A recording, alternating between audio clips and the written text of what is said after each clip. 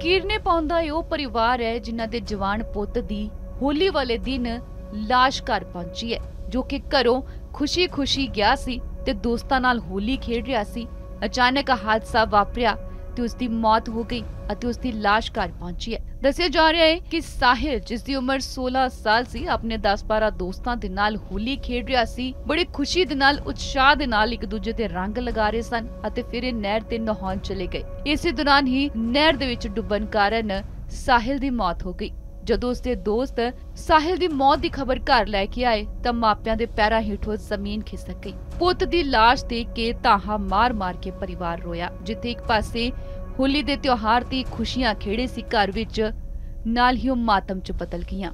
ਇਹ ਮਾਮਲਾ ਯਮੁਨਾ ਨਗਰ ਤੋਂ ਸਾਹਮਣੇ ਆਇਆ ਹੈ ਜਿੱਥੇ 10ਵੀਂ ਕਲਾਸ ਚ ਪੜਨ ਵਾਲਾ ਸਾਹਿਲ ਆਪਣੀ ਆਖਰੀ ਪੇਪਰ ਦੇਣ ਤੋਂ ਬਾਅਦ ਛੁੱਟੀ ਵਾਲੇ ਦਿਨ ਹੋਲੀ ਦਾ ਆਨੰਦ ਮਾਣ ਰਿਹਾ ਸੀ, ਆਪਣੇ ਦੋਸਤਾਂ ਦੇ ਨਾਲ ਹੋਲੀ ਖੇਡ ਰਿਹਾ ਸੀ।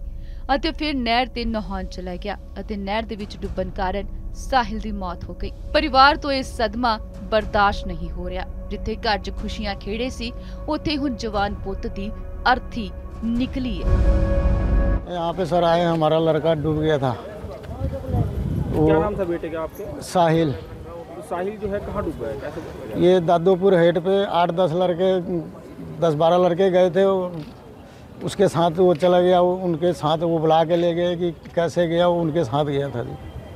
तो उसके साथियों ने क्या बताया कैसे डूबा ये? वो तो हमारे को कह रहे हैं कि सर वो वो हम ऊपर बैठे हुए थे वो नीचे गया नहाने के लिए।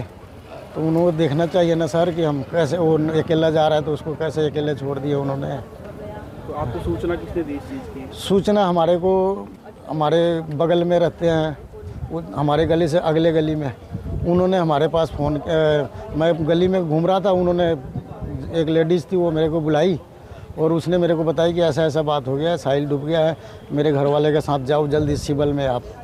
मैंने कहा कि मैं अपने घरवाली को ले लेता हूँ। उन्होंने कही नहीं नहीं आप चलो हम उनको बाद में बताएँगे क्योंकि मेरी जनानी हार्ट की मरीज़ है ना सर। तो उसको एक बैग हम बताना नहीं चाहते थे। साहिल करता क्या था? कोई काम करता ना सर वो तो अभी स्टूडेंट था अभी तो दसवीं का वो पेपर दिया था। अभी कल एक लाख लास्ट पेपर था सर उसका।